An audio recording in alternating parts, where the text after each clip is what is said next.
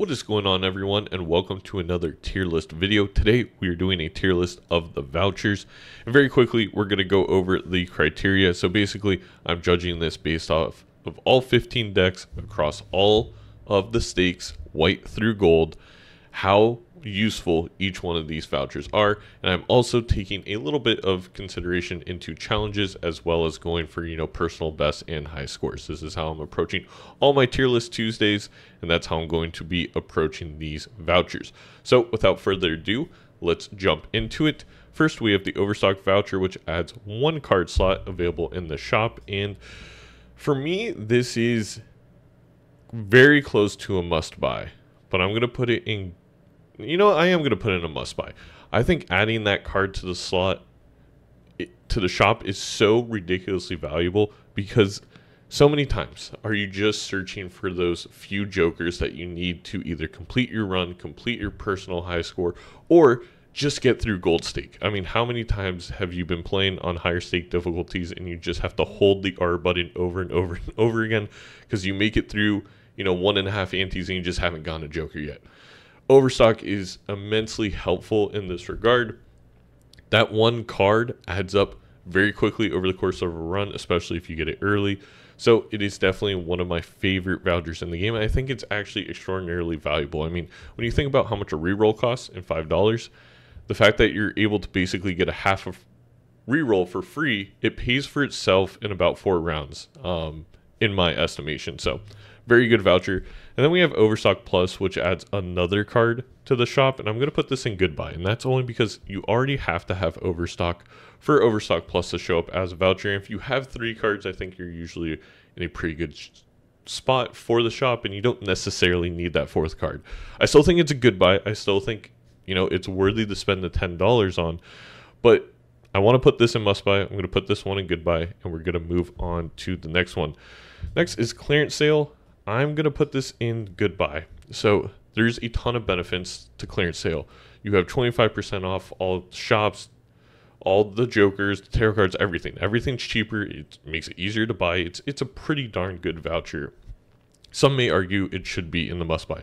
My only gripe with it is it also makes all your jokers less valuable. So when you go to sell joker, it's scaled to be the same equivalent as it would be in the shop. So it would be really cool, and I think it would turn to a must buy for me if you know you could buy and then sell. But I also understand what local thunk the developer was trying to avoid there, where you could literally buy and sell and just make free money. Um, all in all, it's a pretty good buy. I don't think it's absolutely necessary. I mean, there are stakes you get to. I believe it's orange stake when the booster packs start becoming inflated as you go farther and farther along in the game. This can bring that inflation down. But at the same time, I don't think it's necessarily needed for a run. I honestly think you get a little bit more value out of just seeing that third card in the shop than you do from having cheaper shops. And then we have liquidation, which makes everything 50% off. Very much the same thought process. I do think if you have this one, it's not a bad idea to add liquidation because now you're getting to the point where basically packs are like $2, tarot cards are a dollar, plant cards are a dollar. It kind of makes things ridiculously cheap and it's good to add on. Um, I would say you still get a big benefit from just adding that extra 25% on top of what you already have from clearance sale. Next, we have Hone, which of course improves the chances of foil, holographic, and polychrome jokers. And if you saw my consumable card tier list, you're probably not surprised by this, but I do not think this is worth it as a card whatsoever. I just don't think poly, or um, excuse me, foil or holographic are really that valuable of bumps. Polychrome is absolutely worth it. Getting that extra 1.5 mult is great, but it's still a very low chance that you're going to see any polychromes even when you get hone. I think if you included negatives being upped, the amount of negatives you would see in the shop, I would move this to mid. But the fact that it only can improve foil, holographic, and polychrome, I don't care. I don't really need the 10 extra dollars. I don't care if my Joker has holographic or my Joker has foil. Yes, it's nice. It can be a difference maker once in a great while, but it's just not that great of a deal. And again, it doesn't increase it enough for polychromes, the one specific boost that I would be looking for, for me to spend the $10 on it.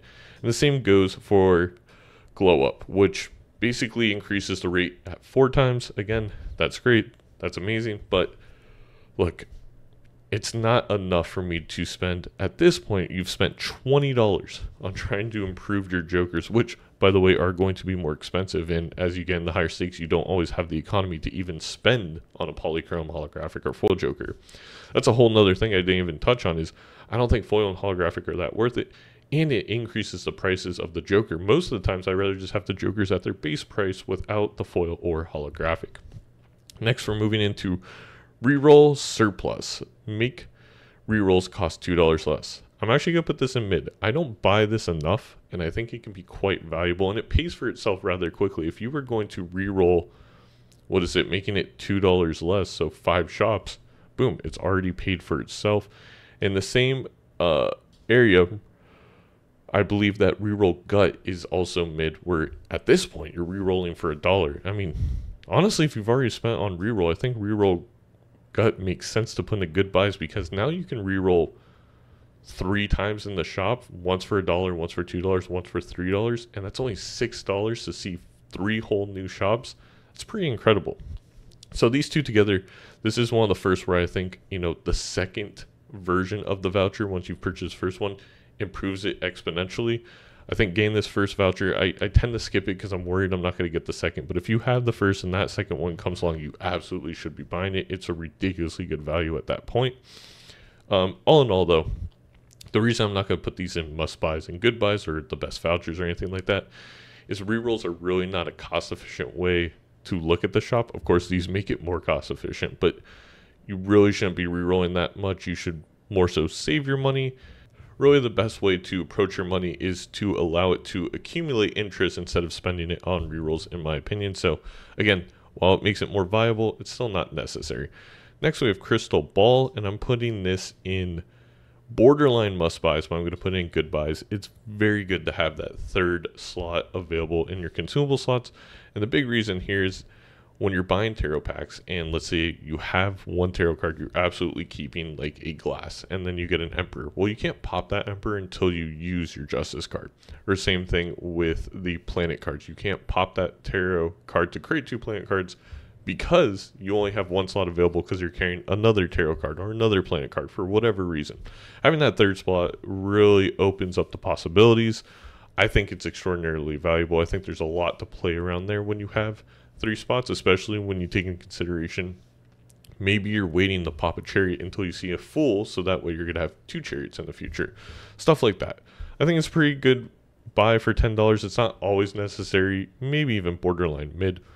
But we're going to move on to its, you know, powered up version of Omen Globe, which is very interesting. It allows spectral cards to appear in Arcana packs. And while you all know my feelings on spectral cards. They're fantastic. They're the best consumable cards in the game.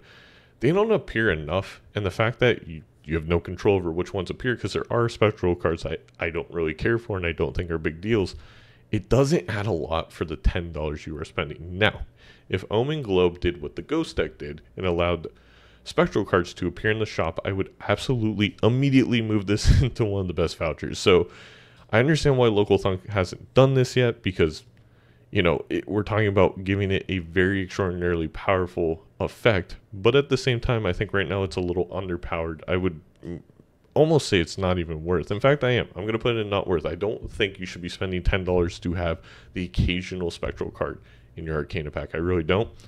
I think we should add maybe there's a X percentage chance of a spectral card appearing in the shop and then I would move this maybe into mid or goodbye because all of a sudden you can put spectral cards in your consumable slot, and that's a really good, um, you know, uh, thing to have, especially when we start talking about Perkeo, which is one of the legendary jokers that can make negative consumable cards.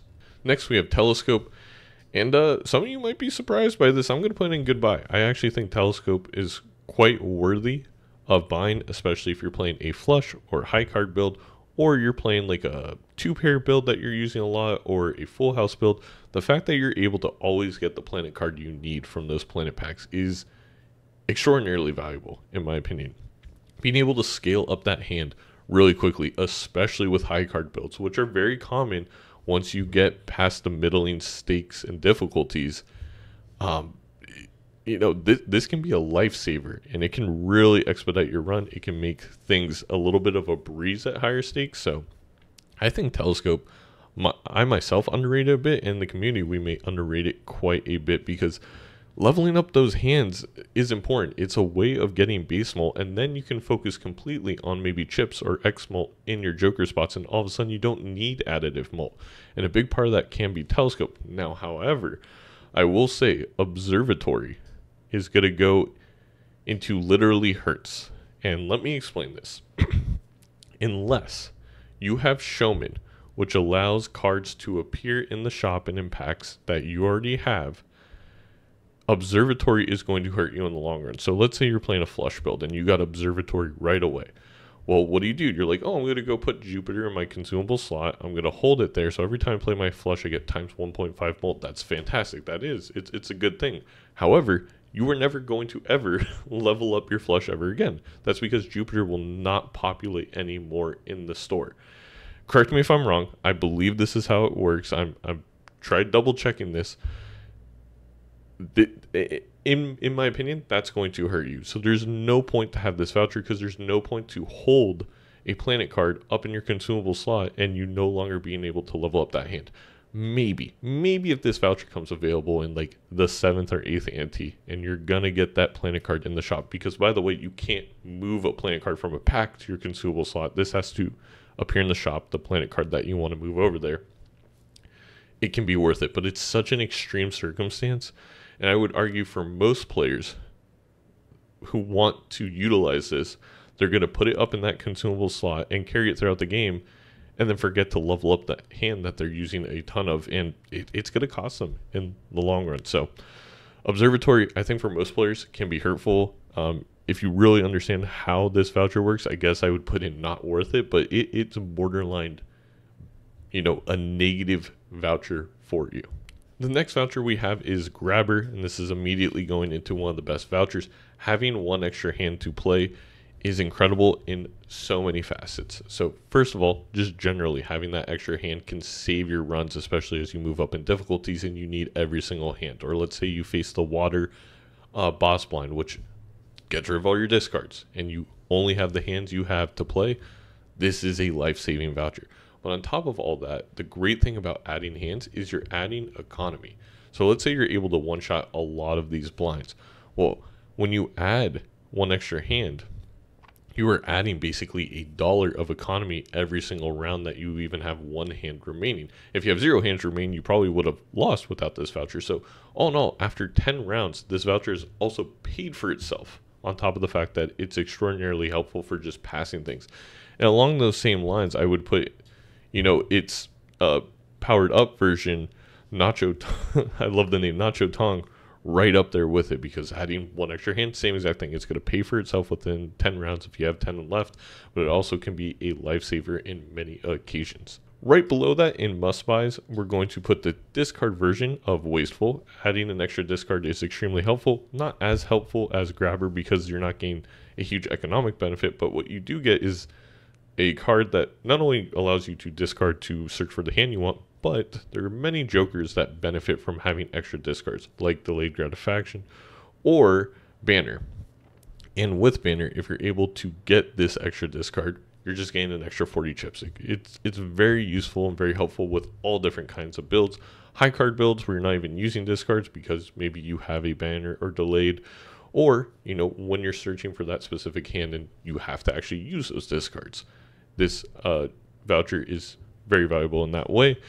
And I'm just going to put its powered up version in the same exact tier because, you know, it's one more discard for another $10. Oftentimes, it is very much worth it. I would say you probably need it less than the first one, but as we move to higher stakes and you have less and less discards, it can be just as valuable.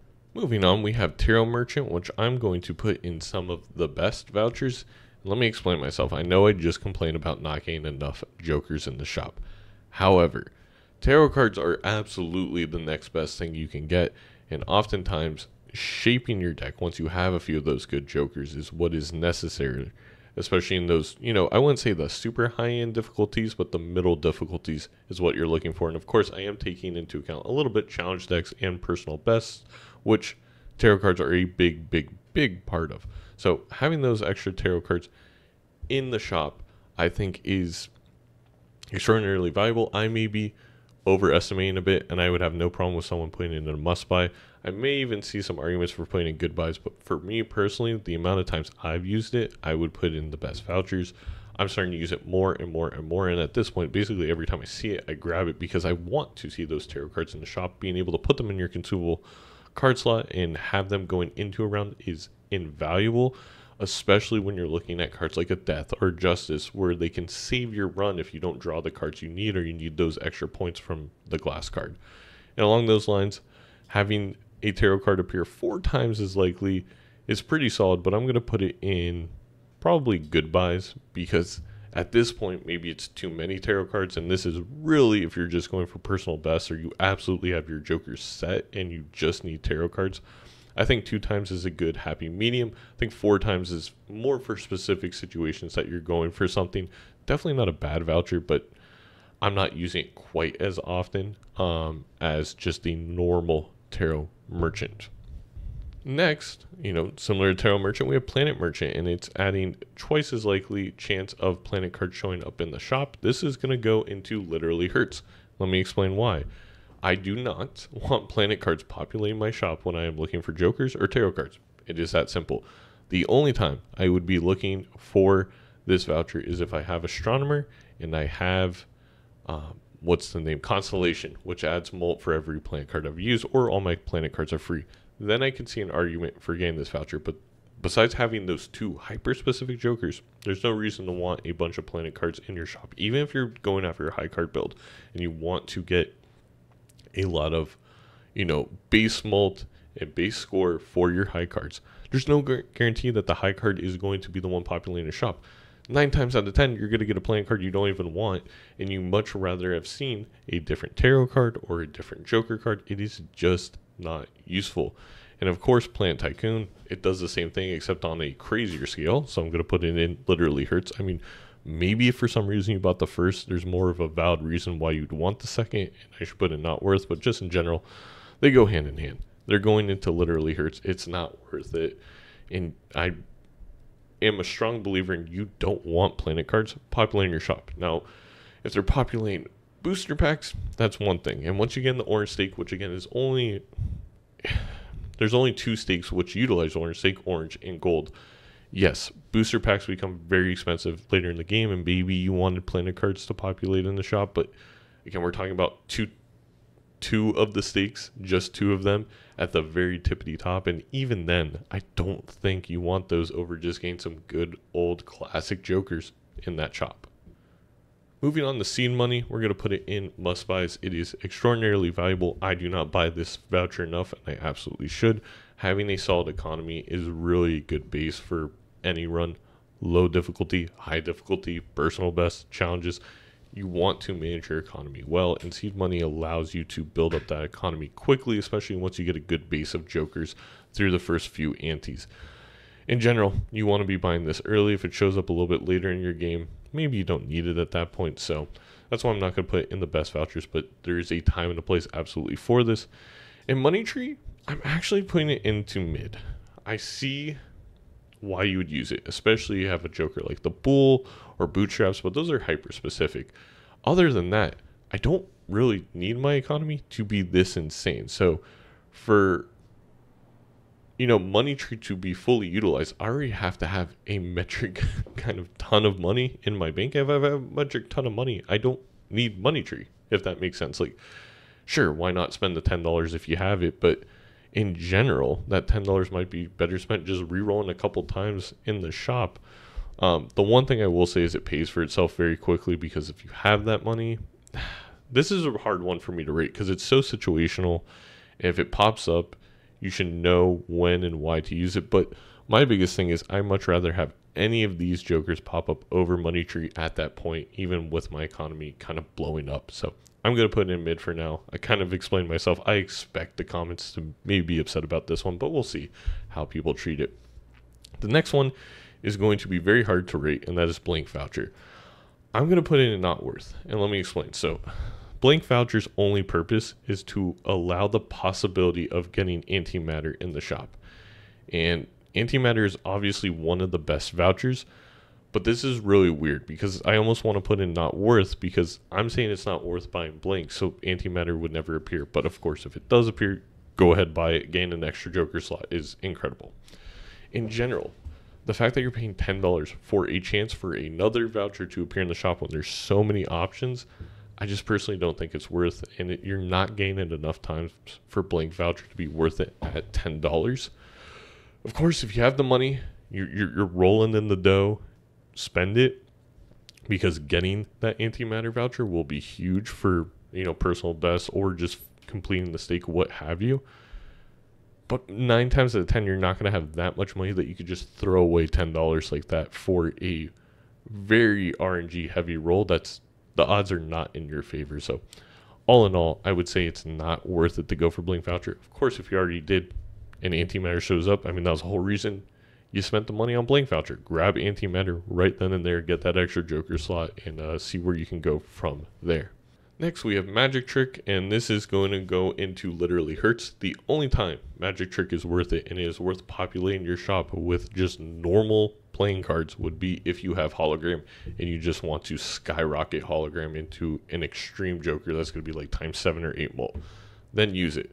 If you don't have Hologram, there's no point to populate your shop with random cards because the chance that those cards are going to be useful and ones that you actually want is so unbelievably low. There will be never a reason to spend $10 on filling up slots in your shop with just plain old playing cards. Now, along those lines, if for some reason you bought Magic Trick, then I see the argument for Illusion and I'd put all the way in goodbyes because I can see this is the only way of making Magic Trick valuable outside of Hologram is the fact that all of a sudden you can have enhanced cards, you can have polychrome foil, holographic cards, you can have sealed cards. Those are all really, really good things, and it's making Magic Trick worth it. So, if for some reason you bought this, yes, Illusion becomes a good, maybe even must buy because you bought this one in the first place. But all in all, avoid this, avoid this voucher. Don't buy Magic Trick in the first place. Again, if you have hologram, I'll accept it. Go ahead and do it. It's actually a pretty fun build to do.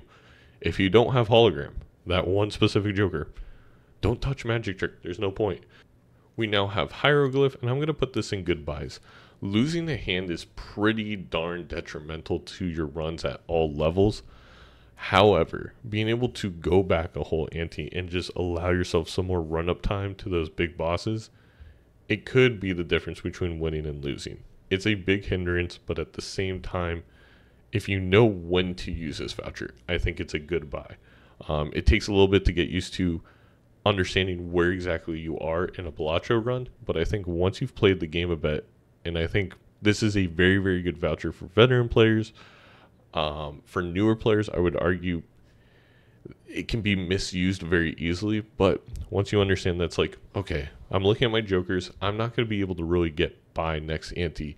I know I'm going to lose a hand, which is going to hurt me, but I think going back and just gain three more shops, gain a little bit more economy, getting some, you know, skippable tags, or being able to increase my obelisk or throwback joker or hologram, you know, uh, something that's you're working on increasing the X mult or additive mult then this voucher is very good and there's a time and a place for it, but you have to know when. I also think, of course, this voucher is great for personal best runs because you just want more time to build up the exact jokers and exact hand you want. In the same way, Petroglyph, I would actually argue is almost a must buy because losing a discard, yes, is not ideal, but going back around for just a discard is a much better deal than going back around for losing a hand. So I think this is if, if you've used hieroglyph petroglyph is a fantastic voucher to see in the shop and i pretty much grab it every single time because i am absolutely willing to sacrifice a discard to go back and ante and have all those shops to have more economy to have more time to build up the jokers i need to there's been one or two times i decided not to because my run was in such a good place i knew i could cruise to the boss blind but most of the time this is a much better trade-off than losing a hand and eh, there's less math involved. I think Mm, nine times out of ten, you're probably just like, oh, yeah, this is a good Joker to grab, unless your run is in a spot to complete at that point. We now have Director's Cut, and I would put in goodbyes. I think being able to reroll boss blind is absolutely useful, and there's times where if I had $10 and I would have had Director's Cut, it would have saved a run that probably would have ended up winning. So there's times where this voucher is just absolutely necessary. I just find it a lot of times where you don't have the economy to quite spend on this voucher, and then you're gonna have to spend 10 whole dollars to then also reroll the boss blind. But it is a good buy, and again, you just have to know when to buy it, and you have to be in a good economic place, I think, to buy this voucher in the first place. However, I think its partner in Retcon is just not worth it. Yes, of course, if you have a huge economy and you can just spend on whatever, go ahead and buy this so you can reroll the boss blinds as many times as you need to get the exact boss blind you want. But generally speaking, you just need to reroll it once. There's usually only one or two boss blinds that are specifically to kill your exact run. If you can afford to reroll it once, you're good. If you need this voucher, your economy is either in a fantastic place and you probably should be fine no matter what, or you're not in a good place, and I can't see how you could really afford to re-roll enough times to get the exact boss blind. You would need to move on. All in all, I really think you just need to re-roll once. I don't think the upgrade version is necessary. Finally, we have Paintbrush going into one of the best vouchers. Having increased increased hand size is super valuable in Balatro.